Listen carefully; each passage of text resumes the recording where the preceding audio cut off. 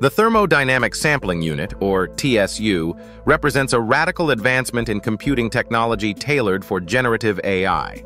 Unlike conventional processors that rely on deterministic logic, the TSU utilizes probabilistic bits, or p-bits, which naturally fluctuate between states due to thermal noise.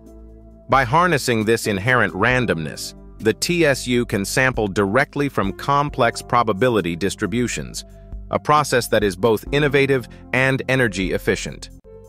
This approach transforms what was once considered hardware noise into a valuable computational resource.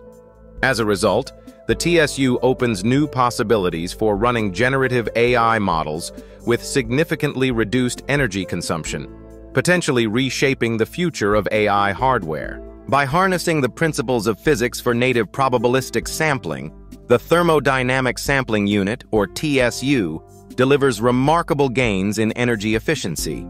Unlike traditional GPUs that rely on complex mathematical simulations, the TSU directly samples from probability distributions, dramatically reducing energy consumption.